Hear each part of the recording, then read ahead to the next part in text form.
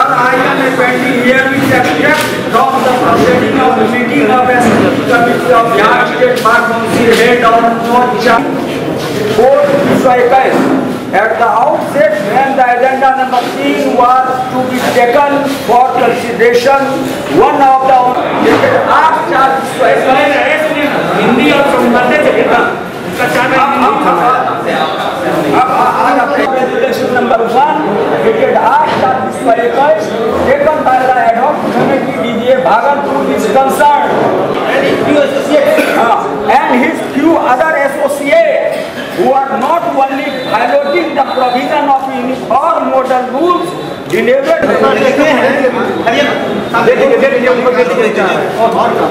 Hindi करेंगे दे दीजिए committee of the bar council as also of the bar council itself and further they are undermining and scandalizing the authority of Bihar Bar Council deliberately for their personal interest.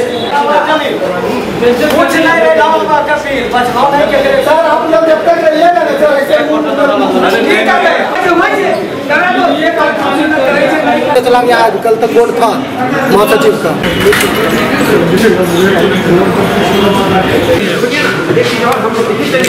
कभी किसी court के न्यायिक प्रक्रिया में कभी भाग नहीं लिया। है ना से। साढ़े बारह के बाद अधिवक्ता यहाँ एक बजे तक रहेंगे। और एक बजे के बाद विंडो का अड्डा बनता है। आप समझ लीजिए कि आपकी पुलिस अंदर नहीं घुस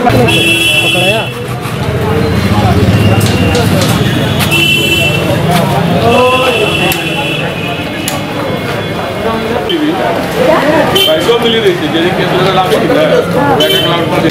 हिमांशु और बादल मारपीट भी किया आपके साथ? हाँ मेरे साथ मारपीट किया है। अब पाँच हज़ार रुपया मेरे जेब से इसका था क्लाइंट का था वो निकाल लिया है। क्या निकाला? हिमांशु निकाला है। कौन मुद्दा कीजिए?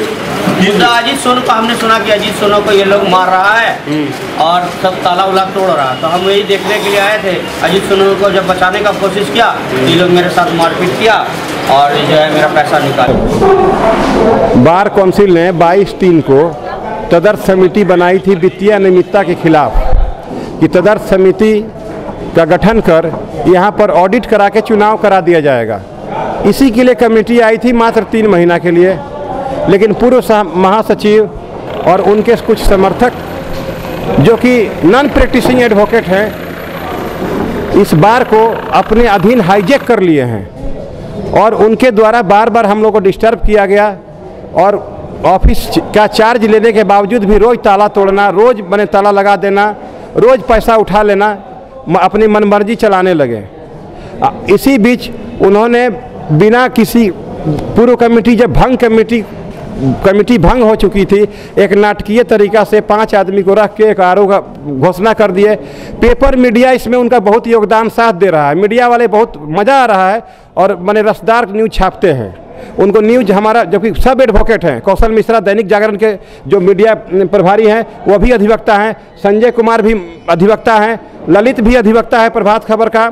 सभी अधिवक्ता हैं। और यहाँ पर ये जो पदाधिकारी उन्होंने रहा है तब भी वो मज़ा ले रहे हैं अभी पत्रकारिता में चले गए हैं तो मज़ा ले रहे हैं रस लगा रहे हैं। वो ये बात अच्छी तरह जानते हैं कि बार काउंसिल हमारा मदर संस्था है बार काउंसिल यदि कुछ कहता है तो उसका नेतृत्व का पालन हर नेतृत्व हर वकील को मानना बाध्य है। वही हमारा इंडोलमेंट दे, नंबर देता है और उसी के इंडोलमेंट नंबर पर हम अपना इंडोलमेंट पंजीयन संख्या लिख के अधिवक्ता का काम करते हैं यह मेरी पहचान है।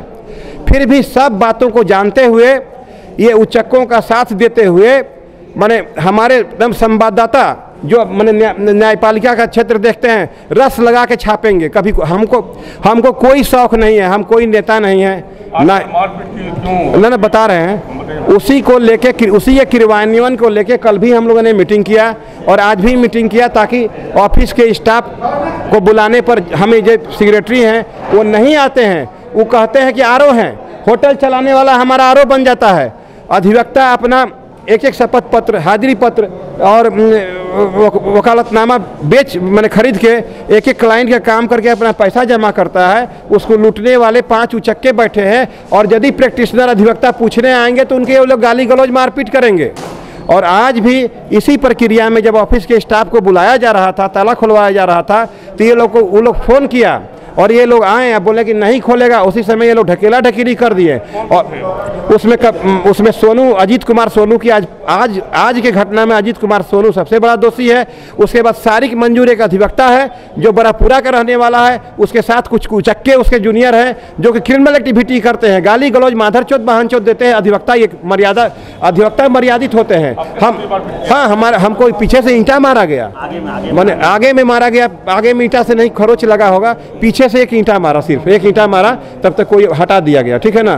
खैर, ना ना एफ़ भी करेंगे, हमको मार लग जाए या और मार लग जाए, हमको मतलब नहीं है, लेकिन हम अपना मंदिर को उचक्कों से आज़ाद करा के रहेंगे।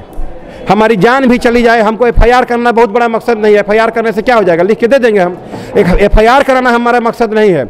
मकसद ये है कि हमारे अधिवक्ता बंधु जगें और अपने मंदिर की रक्षा के लिए आगे आए। एफआईआर करना बदला कर, निकालना या दो हाथ दे देना ठीक है दो हाथ दे दिया दे दिया बहुत जीत गया बहुत बड़ा आदमी बन गया।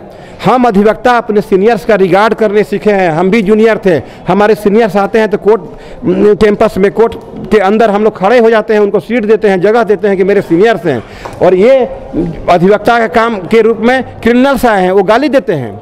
माधर चौथ बहन चौथ ये क्या तरीका है? माने जान मारने पर उतारू है सब क्रिमिनल्स टाइप के अधिवक्ता आ गए हैं हमारे बीच में। और वो ना पुराना कमेटी का सदस्य है ना नया कमेटी का सदस्य है। वो सिर्फ़ क्रिमिनल्स एक्टिविटी के लिए यहाँ आता है। आज हमको देख लेने की सारिक मंजूर पूरे प्रकरण में सबसे बड़ा दोषी है। शारिक मंजूर। और उसके ये मेरा नाम मंजनी दुबे है। और अभी हम वर्तमान में ये तदर्थ कमेटी के सेक्रेटरी हैं। झंझट क्यों हो रहा है झंझट हो रहा है कि वो रोज पैसा गमन करता है, यहाँ तीस हज़ार, चालीस हज़ार रुपया का बिक्री होता है, उस पैसा को वो लोग स्टाफ के माध्यम से दस हज़ार, पाँच हज़ार उठा लेंगे, मेडिकल एड देना है तो पाँच हज़ार अपने अधिवक्ता को दे देंगे, नियमित अधिवक्ता का पिटीशन पड़ा रहेगा, क्योंकि वोट देगा बाहरी अधिवक्ता, दुकानदार अधिवक्ता।